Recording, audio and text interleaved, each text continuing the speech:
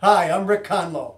I'm glad you're here. I'm CEO and co-founder of WCW Partners and also co-author with my business partner Doug Watsabaugh of the superstar leadership model, Good Boss, Bad Boss. Which one are you? I want to talk to you today about the state of the art for improving the customer's experience.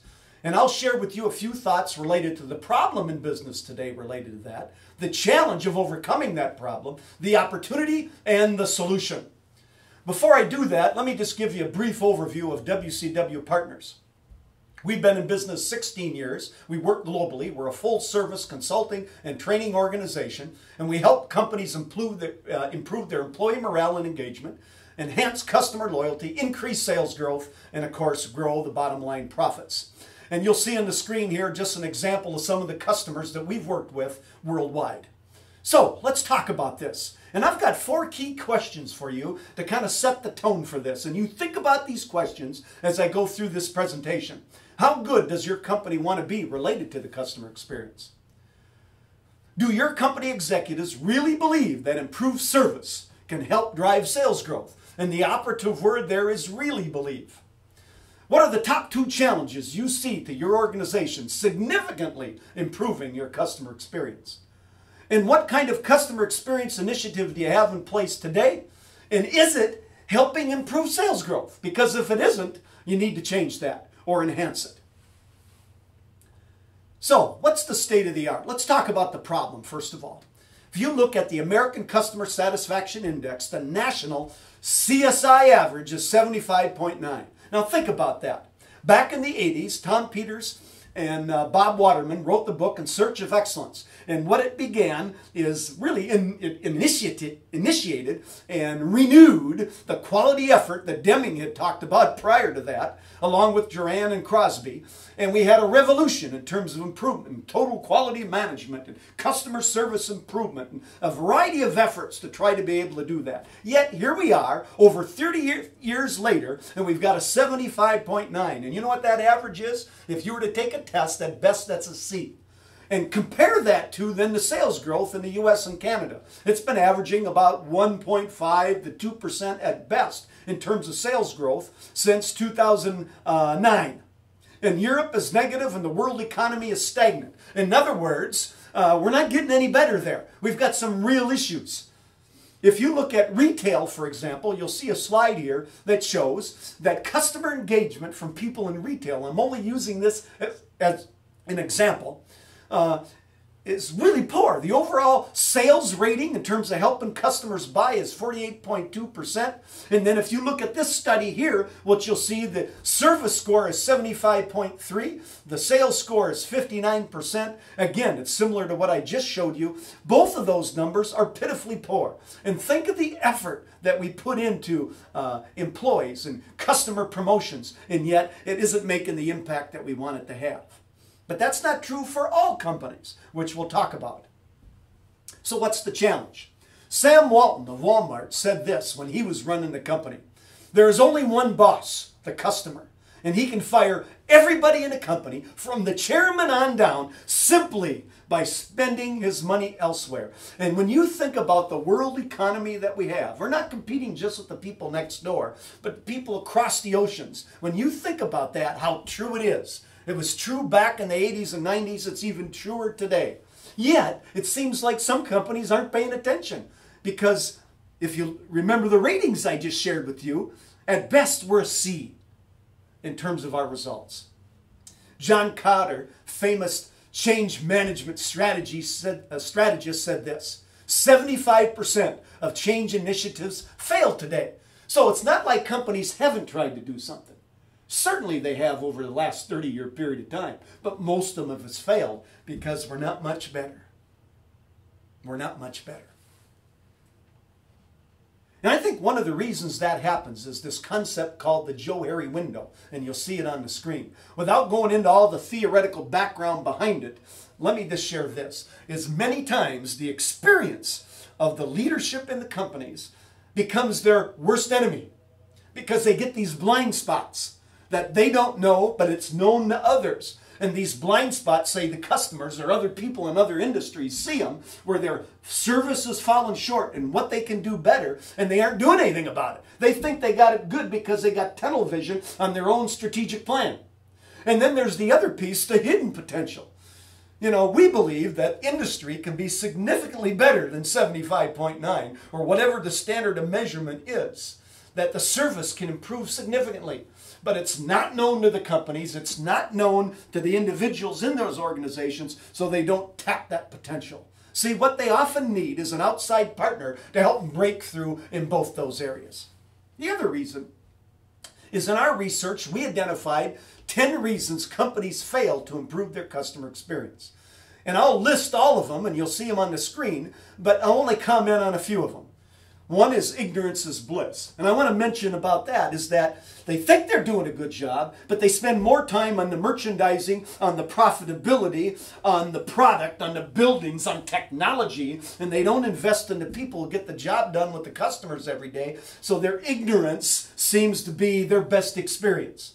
Vision without vitality, the panacea approach, frontline fanatics. In other words, it's the frontline's fault. One major airline said this to me when I complained to them. Oh yeah, we've got a program going on. It's for our frontline employees. They forgot to look into the detail of my letter which said it was a management issue.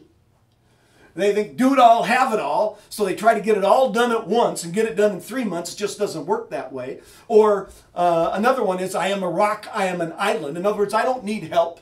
We know our business. No one else is going to help us. We had a company like that in retail. And through the tough recession in 2008, 2009, they lost 2 billion in sales. Uh, we came in to try to help them. They're trying to use their technology to improve, which I'll come to.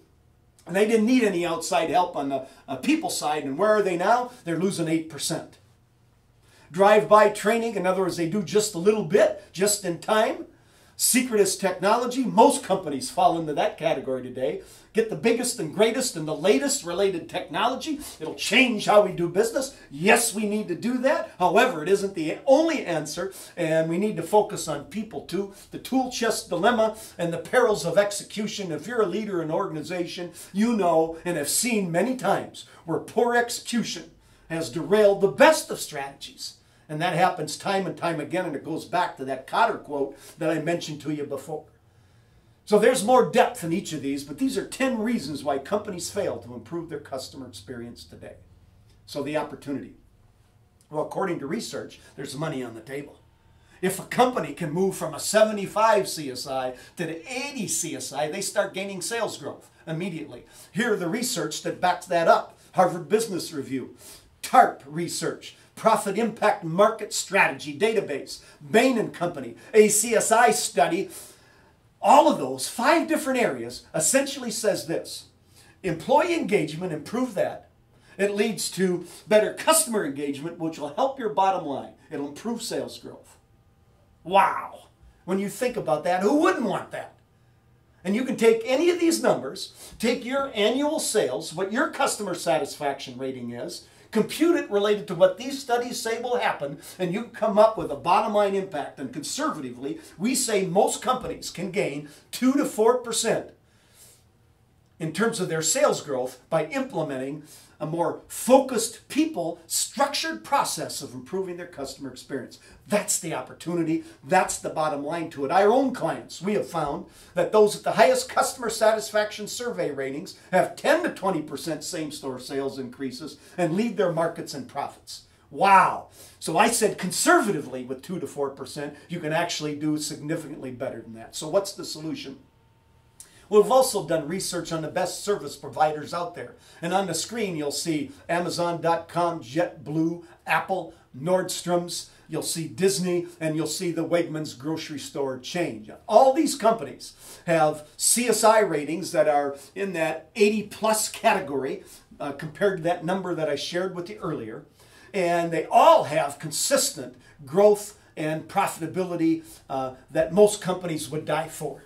So we dug in and said, what are they doing that's different than everybody else? And we found five cultural habits of customer driven companies. And briefly, they are number one, great customer experience is a way of doing business. It's not a program, it's not something you get all excited about today and then move to another priority tomorrow.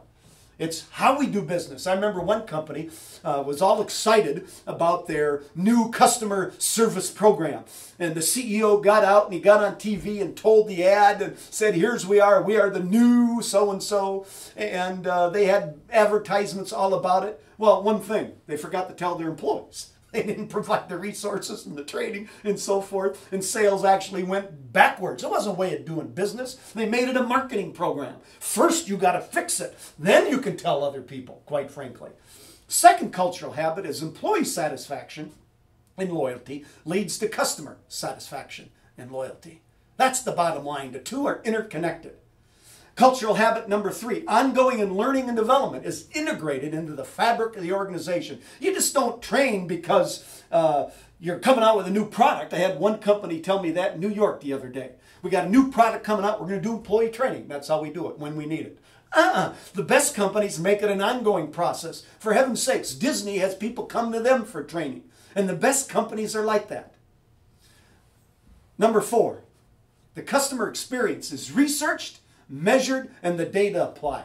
In fact, they just don't look at overall satisfaction numbers. They dig in and look at numbers that are more important to the customer. For example, Apple, what they do is they measure how often their employees in the store ask their customers if they need other products and services, knowing that they really will need them to be able to help them. And then cultural habit number five continuous improvement is expected, and the speed of gain is second to none. Shoot, at Amazon, they say that if it takes more than two pizzas to feed a team, it's too many people working together. In other words, the point is you want to have small groups of people empowered to be able to get results, make decisions with customers, and make things happen. Now, you don't learn these cultural habits overnight, but what we've learned is companies can transform who they are by adapting these habits to their industry, their kind of model of business to be more successful. And that's what's missing. If you were to sum all this up, you could say this um, I show you on the screen the picture of Olympic athletes, and I don't know if you had an opportunity to watch some of those uh, while the London Olympics are in process, but tremendous stories of those who participated and those who won the medals. And here's one of the things I noticed that when these athletes are being interviewed, they talked about their coaches, people who helped them succeed. And I thought, here are the best of the best in the world. And what do they have? They have coaches, they have someone helping them be more successful. Wow! You know what? Most companies today need a coach to help them succeed and to break through. Because the bottom line of these cultural habits comes down to this leadership engagement leads to employee engagement, leads to customer engagement. The key is how you do that. And that's where companies tend to fall. And the time and effort they put into making that happen. Wow.